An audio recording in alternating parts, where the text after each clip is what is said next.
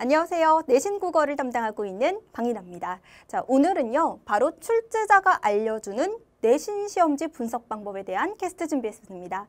여러분들 대부분 수능이나 모의고사 시험지를 분석하는 방법 그리고 해야 되는 필요성에 대해서 알고 계시죠. 그리고 그것을 분석하는 방법에 대해서도 굉장히 많이 알고 있을 겁니다. 그리고 그것이 중요하다라는 것도 다 알고 있어요. 하지만 여러분 학종이 이렇게 굉장히 여러분의 입시 성적에 큰 영향을 주는 이 시점에서 내신 시험지를 분석해야 한다라는 생각 해보셨나요? 혹은 내신 시험지를 어떻게 분석할까? 분석 방법에 대해서 궁금해하시지는 않으셨나요? 자, 이런 부분을 되짚어보고 그리고 그러한 꿀팁을 알려드리기 위해서 제가 직접 준비한 캐스트입니다. 자, 전직 교사 출신으로서 제가 직접 내신 시험지를 출제한 만큼 출제자 입장에서 내신 시험지를 어떻게 분석해야 여러분들의 성적 향상에 도움이 될 수 있는지 바로 준비한 캐스트인데요. 지금부터 시작하도록 하겠습니다. 자, 여러분 중간고사는요. 기말고사, 어, 출제 예상 문제라는 건 너무 당연하게 알고 있을 겁니다. 왜냐하면 곧 중간고사는 결국 기말고사의 기출문제 역할을 담당하기 때문이죠. 중간고사를 바탕으로 우리는 기말고사를 예측할 수 있기 때문입니다. 자, 그래서 대부분의 내신 시험은요. 주로 유형이 내신형이나 유사 수능형 그리고 정말로 수능형의 스타일로 출제되는 경우가 굉장히 많은데요. 특히 유사 수능형과 수능형에서 바로 점수를 가르는 killing 문제가 주로 출제되는 것이 현 내신 시험의 트렌드입니다.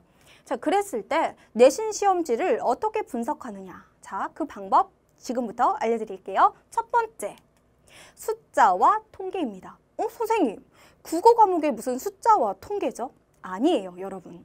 국어에도 수학적 접근이 필요합니다. 자, 궁금하시죠? 잠시만 기다려주시고요. 두 번째, 문항 분석입니다. 가장 하이라이트가 되겠죠. 객관식과 서논술형, 각각의 그런 문항들을 어떻게 분석하는지에 대한 방법, 그리고 그런 시각으로 내신 시험지를 보는 방법에 대해서 알려드릴게요. 마지막으로 항상 우리를 골머리 썩게 하고 있는 이 외부 작품 연계에 대해서도 선생님이 이야기해 주도록 하겠습니다. 자, 숫자와 통계입니다. 자, 일단 여러분, 우리 기본적인 것부터 해보자고요. 매번 시험마다 이렇게 질문하는 학생이 있어요. 시험 기간에. 선생님, 이번에 국어 시험 총 몇 문제 출제돼요? 자, 이렇게 물어보는 학생은요. 아직까지도 내신 시험이 어떤 식으로 분석돼야 마땅한지를 전혀 감을 잡고 있지 못한다라고 볼 수가 있는데요.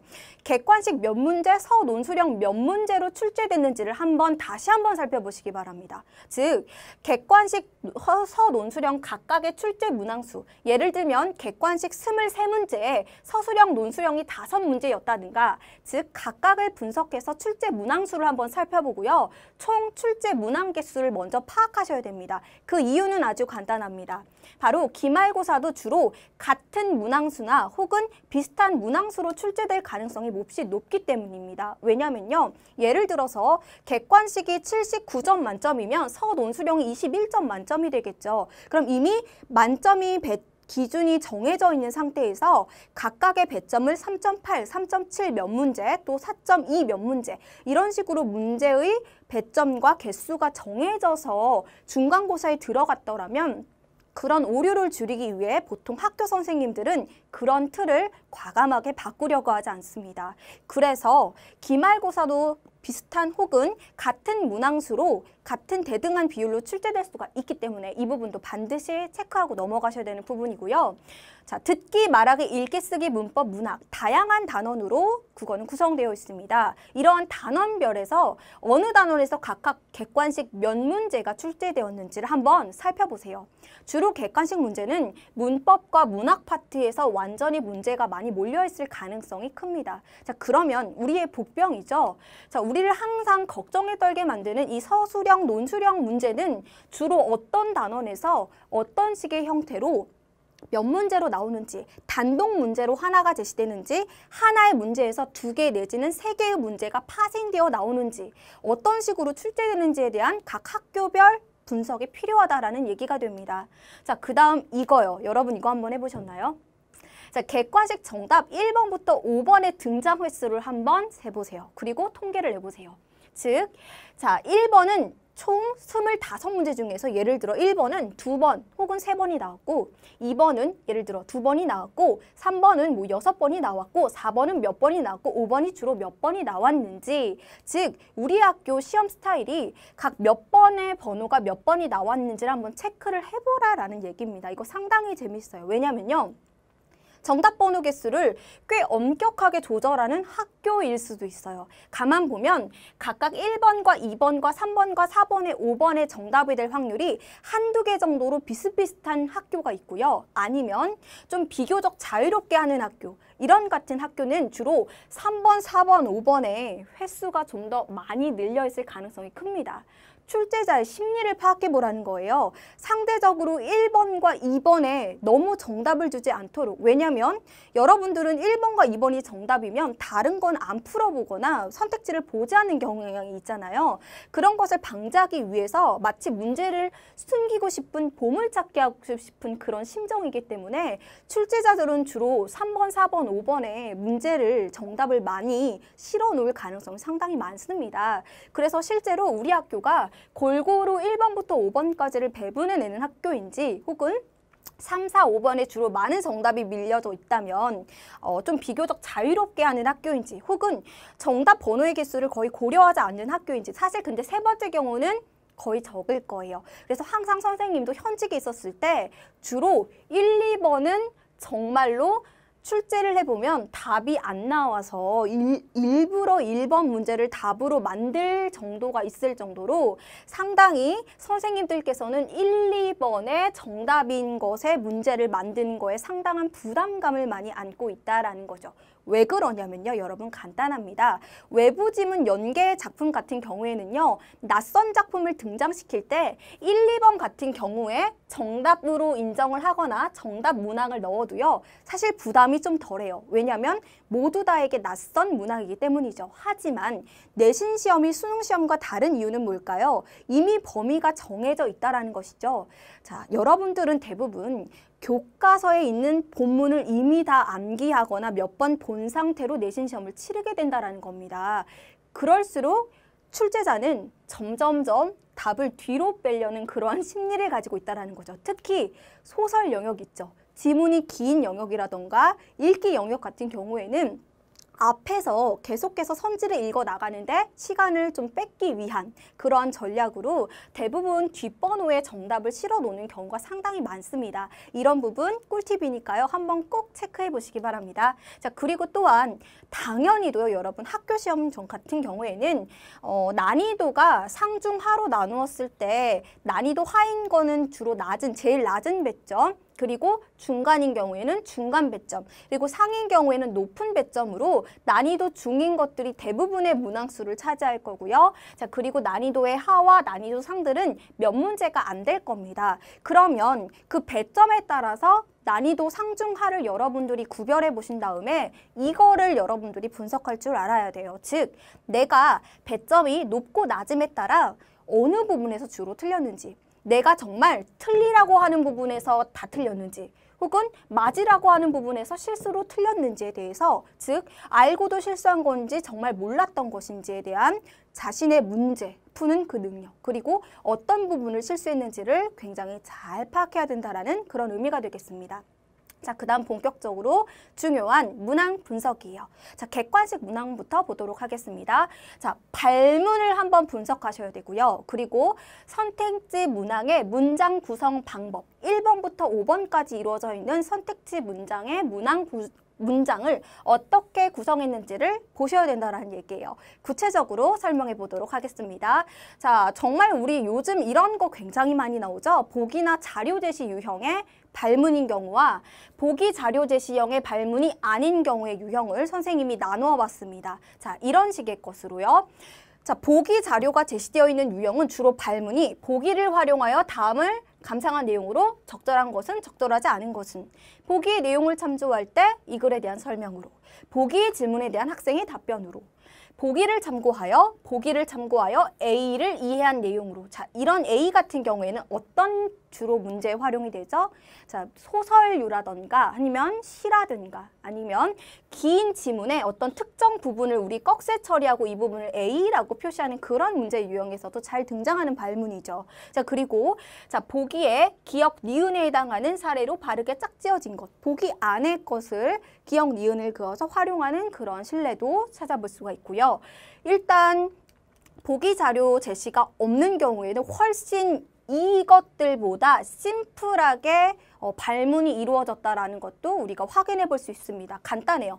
윗글에 대한 설명, 윗글을 이해한 내용으로, 윗글을 감상한 내용으로, 표현상 특징에 대한, 서술상 특징에 대한 자 윗글에 라고 이야기하면서 각각 기역부터 미음의 기호를 다 붙여주고 밑줄을 그어두죠. 본문 안에. 또한 기역과 미음을 다 쓰면 A와 E를 사용합니다. 그렇게 쓰는 경우가 있고 자 밑줄 친 기역에 대한 독자의 반응 혹은 기역, 니은, 디귿, 리을, 미음 본문 안에서 다 그어버리고 그거에 대한 기능에 대한 설명으로와 같이 확실히 보기 자료 제시 유형보다는 발문이 굉장히 심플하고 단순합니다. 따라서 낮은 배점이나 중간 난이도의 어떠한 그런 영역에 적합한 발문이라고 볼 수 있겠죠. 확실히 난이도가 높아지는 건 보기 자료가 제시될 때 주로 사용된다라고 볼 수가 있습니다. 자, 또한 조금만 더 업그레이드 시키면 이 글을 감상한 후 보기와 같이 작가와 인터뷰를 한다고 가정할 때 조금 더 복잡하게 섞이는 발문인 거 보이시죠? 또한 보기가 두 개가 나오는 경우도 있습니다. 보기의 1을 참고할 때 보기 2에 대한 설명으로 나란히 보기가 여러 개 중복대시 되는 그런 발문도 있을 수 있고요. 그리고 바로 특정한 부분 A 하나를 줬던 게 아니라 A도 주고 B도 주고 C도 주고 그리고 각각의 부분에 대한 설명으로 적절한 것을 보기에서 모두 고른 것은 보기 안에서 찾도록 하는 그런 문제도 있고요. 또한 자료를 참고해서 A에서부터 E를 해석할 때 제일 보편적인 문제가 되겠죠. 그리고 기억에서 미음 중 자료에서 설명한 내용의 예로 적절한 것은 적절하지 않은 것은 이런 식으로도 가볼 수 있다는 겁니다. 특히 이런 부분의 발문의 활용이죠. 자료를 참고 참고하여 A에서 2를 해석할 때라던가 혹은 A에서 2 중 자료에서 설명한 내용의 예로 어때요? 지금 말장난처럼 선지의 발문을 밟을 수 있다라는 것도 발견될 수 있다라는 거죠. 또한 여기서 마찬가지로 자료를 참고해서 기억에서 미음을 해석할 때, 즉 같은 것을 물어보는데 선지의 발문을 굉장히 말장난처럼 유두리 있게 융통성 있게 출제자들은 바꿔 쓴다라는 거 이런 부분들도 여러분들이 골라낼 수 있는 그런 안목을 기르셔야 된다는 겁니다. 그리고 그렇지 않은 경우에는 뭐 이런 거죠.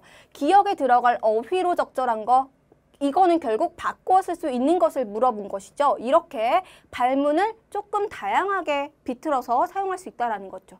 또한 니은에 들어갈 내용으로 가장 적절한 혹은 A에 들어갈 말로 글의 흐름을 고려할 때 결국 니은에 들어갈 내용도 알 수 있는 거잖아요. 그러니까 이런 선지도 같은 것을 물어보는 그런 선지라는 것도 발견해낼 수가 있고 자 예를 들면 가를 줬을 때 밑줄 친 기억에 대한 설명으로 또는 가와다 가와 나와 다 각각의 작품이 나왔어요. 그 작품에 대해 공통점에 대한 설명으로 주로 우리 문학 작품에서 많이 등장하는 발문이죠. 그리고 또한 A와 B 특정 부분을 콕콕 집어서 드러나는 공통점으로 라고 세는 그런 발문도 있을 수 있고요.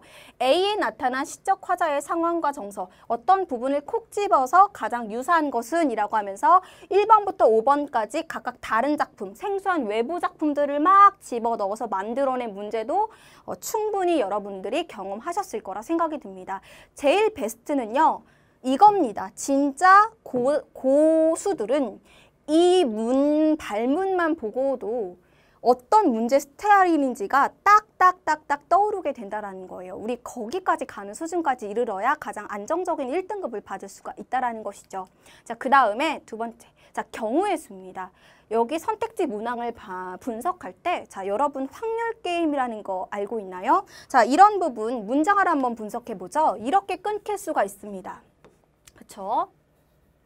자, 그러면요. 보세요. 경우의 수입니다. 결국 정답은 5, O인 게 경, 정답이 될 거예요. O, O이거나 아니면 X, O가 나올 수도 있고요. 혹은 O, X가 나올 수도 있고 아니면 둘 다 틀리는 경우가 나올 수도 있습니다. 하지만 정답은 어떤 게 될까요? 이 I만 정답이면 된다라는 거죠. 그래서 이런 파트별 공식을 활용해서 경우의 수, 확률 게임을 통해서 앞이 맞고 뒤가 맞는가 아니면 앞이 틀리고 뒤가 틀린다 하는 각각의 문장의 키포인트를 여러분들이 발견한 다음에 OX의 여부를 따져서 바로바로 바로 문제를 풀 수 있는 스킬 이것 역시도 수능 문제를 풀 때, 모의고사 문제를 풀 때도 적용되는 선택지 문항 방법이라고 볼 수가 있겠습니다. 자, 그 다음에 다음을 볼게요. 보기와 같은 경우를 보면요. 보세요. 기역부터 리을입니다. 자, 이런 경우에 선생님은 현직에서 많이 활용했는데요. 1번부터 5번까지의 선택지가 나오지 않을 경우에는 네 가지의 선지를 고려한다라고 생각하고 이거 중에서 가장 적절한 것은 이 모두 고른 것은 이런 식으로 문제 유형을 바꿔낼 수도 있다는 거죠. 그렇지만 중요한 건 자, 똑같이 오냐 오냐, 오냐 X냐, X나 오냐, X나 X냐의 확률 게임으로 이루어진 문장 구성이라는 거예요. 그래서 결국에는 오와오를 골라내는 것이 포인트다라는 거죠. 단지 이런 문제는 복잡한 여러분들의 시간을 끌기 위한 단순 포장에 불과할 뿐입니다. 본질의 경우의 수를 잘 찾아낸다면 빠른 시간 내에 시간을 압축해서 문제를 풀 수 있겠죠. 이건 내신뿐만 아니라 수능에서도 활용 가능한 그런 문항 분석법이라고도 볼 수 있겠습니다. 자, 또한 선택지 문항이요. 이렇게 나올 수 있어요.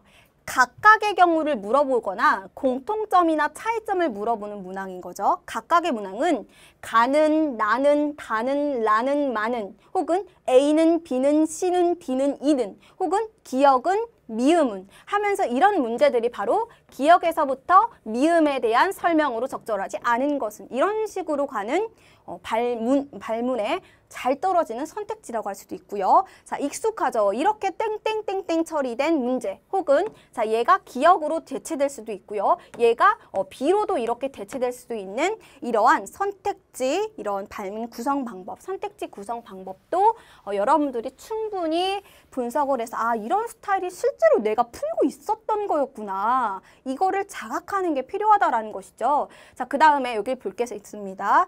선택지 1번부터 다섯 가지 안에 가는 나는 자 이거는 지금 어떤 경우죠? 각각의 경우죠. 그런데 가는 나와 달리 나는 가와 달리예요. 그럼 이거는 지금 무엇을 물어보는 것이죠? 차이점을 물어보는 거겠죠. 가와 나 모두입니다. 그럼 얘는 뭐를 물어보는 걸까요? 그렇죠. 공통점을 물어보는 선지가 될 겁니다.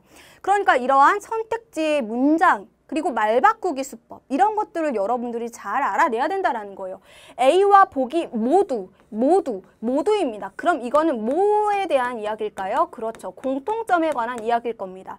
A에서는 보기에서는 A에서는 보기에서는 A에서는 이렇지만 보기에서는 이렇다. A에서는 이렇지만 보기에서는 이렇다. 이거는 바로 뭐를 나타내는 걸까요? 그렇죠. 차이점. 자 여기에 물결이 어, 생략되어 있다라고 보면 됩니다. 그래서 각각의 경우나 혹은 공통점이나 차이점으로 어, 선택지 이런 문항 구성이 이루어질 수 있다라는 점도 우리가 살펴볼 수 있다라는 거죠. 그래서 이런 식으로 내신 시험지를 분석해 보면 우리가 그냥 넘겨 짚었던 문제들 그리고 그냥 단지 시험 끝나고 버리기만 했었던 그 시험지가 다르게 보이는 그러한 경험을 하게 될 겁니다. 자 그리고 객관식과 서논술형에 관련돼서 대해서 알려드릴게요. 자, 우리를 힘들게 하는 서논술형인데 자, 이걸 정말 분석하셔야 됩니다. 본인이 있는 학교가 진짜 서술형이나 정말 논술형 위주의 시험 형태인지 예를 들어 300자 이내로 뭔가를 정말 쓰라고 하는 자신의 생각을 물어보는 문제도 몇 개씩 내주시는 학교인지 또는 서술이나 논술 문제를 가장한 단답형인지 이것의 단답형은 말 그대로 핵심 키워드 위주로 정말 그 단어가 들어있는 채 문장이 뭐뭐 다로 끝났을 경우에 정답으로 인정해주는 그런 학교인지 대부분의 학교가 아마 이것이 많을 거라고 예상이 되고요. 선생님도 현직에 있었을 때 주로 이런 문제를 더 잘 냈습니다. 왜냐면요. 400에서 한 학년당 500명이 되는 이 서술형, 논술형 시험지를 채점해야 되기 때문에 진정으로 정말 생각 같은 문제를 내면 정말로 모두가 동의할 수 있는 답을 얻어내기란 굉장히 어렵습니다. 그 정답에 대한 complain이나 이의 제기가 굉장히 많이 들어올 수 있기 때문에 굉장히 곤란한 상황에 처할 수 있는 부분이기 때문에 출제자들은 그런 부분을 극히 꺼려하거든요. 그래서 정말 핵심 키워드가 잘 들어가게 쓸 수 있는 간단한 단답형일 경우가 굉장히 많습니다. 본인 학교 스타일이 어떤 스타일인지 잘 어, 평가하시고요. 특히나 첫 논술형까지는 대부분 가지 않을 겁니다. 왜냐하면요. 이유는 간단해요. 정말로요. 자신의 생각을 물어보기 위해서는 굳이 치열한 내신 시험 안에서의 그 객관식 서술형 시험의 정규, 기말, 그 다음에 중간고사 시험이 아니어도 됩니다. 바로 수행평가가 있기 때문이죠. 수행평가에서 자신의 생각을 서술하라는 논술 형태의 논술문의 형태로 얼마든지 평가가 가능하기 때문입니다. 굳이 50분 안에 풀어야 되는 그런 시간 제한적 시험지 안에 여러분들의 생각을 자유양대로 정말로 풀게 하는 그러한 정말로 진짜로 정말 완벽한 서술 논술형의 형태가 과연 존재할까 이런 부분도 본인의 학교 스타일을 잘 파악하셔야 되는 그런 부분 중에 하나가 되겠고요. 외부 작품 연계에 대해서 그렇습니다. 굉장히 고민이 많은 부분일 거라고 생각해요. 일단은 선생님은 안과 밖으로 나눠봤습니다. 안 같은 경우에는요. 맞아요. 요즘 교과서는요. 어떤 식으로 구성이 되어 있죠? 주요 본 작품이 나오면 학습 활동에 자그마하게 본 작품에 딸려 있는 외부 작품이 나오기 마련입니다. 그래서 주로 이 작품과 이 본 작품만 가지고 우리 학교가 내신 시험을 출제하는 학교인지 혹은 자 어떤 같은 국어 혹은 같은 문학 시간이라고 해도 1반부터 12반임을 가정했을 때 어떤 한 분의 선생님이 1반부터 12반을 다 가르치시는 게 아니시죠. 그렇죠. 한 세 분, 네 분 나눠서 들어가시는 학교가 굉장히 많을 겁니다. 그래서 학교 선생님께서 수업 시간에 구두로 어, 나 이거 정말 중요해. 내가 만약에 이 부분 출제에 들어간다면 나는 이거와 연결해서 시험 문제를 낼 거야 하고 수업 시간 중간에 은연중에 흘리시는 그런 말들이 있죠. 그런 말들을 굉장히 잘 필기해 두고 담아둬야 된다라는 그런 팁도 알려드리고 싶고요. 또한 이런 경우가 있습니다. 교과서 작품이 만약에 아니에요. 그런데 다른 작품을 보충 자료로 프린트물로 제작한 뒤에 이것을 공통으로 배부해서 가르치시는 작품들 이거는 당연히 뭐겠어요? 교과서에서는 나오지 않았지만 우리는 모두 다 이걸 가르칠 테니 이 부분 역시도 시험 범위에 들어간다라는 말씀이시겠죠. 즉 학교 안에서 배부될 수 있는 외부 작품이 나올 수 있는 경우의 수를 선생님이 좀 생각해 봤습니다. 그러면 이런 것도 어쨌든 예측이 가능한데 정말로 우리가 예상치도 못했던 밖의 작품은 주로 어떤 게 될까요? 유형은 이렇습니다. 자, 여러분들이 보게 될 전국 연합 학력 평가에 어, 출제된 문항을 활용하는 경우입니다. 예를 들어서 중간고사 같은 경우에는요. 예를 들면 1학기를 예를 들겠습니다. 그럼 주로 3월에 본 학평을 활용하는 학교가 있을 거고요. 자 그리고 1학기 기말고사 같은 경우에는 6월에 본 학평을 참고해서 우리는 이것도 시험 범위에 포함시킬 것이다 라고 이야기를 하는 학교도 분명히 있을 거라 예상이 됩니다. 단 우리가 풀어주지 않겠다. 너희들이 알아서 스스로 공부해라. 이렇게 얘기하시는 선생님들도 계실 거라고 생각 해요. 그렇게 연계되는 경우도 있고요. 그렇습니다. EBS 교재 속 작품을 끌어와서 특히나 수능과 연계되는 수능 특강이나 수능 완성에 실린 그런 문제들 그리고 그런 작품들을 끌어들여서 따로 수업을 나가실 수도 있지만 나가시지 않아도 그 작품을 언급하면서 너희들이 공부해 와라 이렇게 하고 출제를 하시는 경우도 있을 것이고요. 자 이런 부분입니다. 진짜 어디로 튈지 모르는 이런 부분인 거죠. 교과서 수록 작품과 관련해서 주로 이런 경우로 많이 연계해서 출제를 합니다. 출제자 같은 경우에는 주로 같은 작가의 다른 작품, 다른 유명한 작품을 엮어서 출제를 할 수도 있고요. 혹은 동일한 주제나 동일한 가치관, 그래서 동일한 어떤 주제로 엮여져 있는 작품이 연계돼서 나올 수도 있습니다. 자 그리고요. 동일한 시대나 사회적 배경 혹은 역사적 상황을 가지고 있는 또 다른 작품들을 연계할 수도 있고요. 혹은 시어의 함축적 의미가 동일한 경우 예를 들면 자화상에 있어서의 거울은 자기 반성, 그 다음에 자기 성찰의 의미를 가지고 있죠. 의미가 명확한 이런 함축적인 의미가 동일한 다른 시어 아까 등장한 그런 다른 작품에서 그 동일한 자기 성찰이나 자기 반성이라는 핵심 키워드를 연계해서 완전히 생소한 그런 작품을 끌어올 수도 있는 그런 외부 작품 출제 방법도 있을 수 있다는 것도 여러분들이 참고하시면 좋을 것 같습니다. 자, 우리 학교의 내신 시험 출제 스타일을 완벽하게 정복하는 것. 자, 내신 시험지 다시 한번 보시고 분석하시기 바랍니다. 1등급의 지름길이라는 거 꼭 잊지 마세요.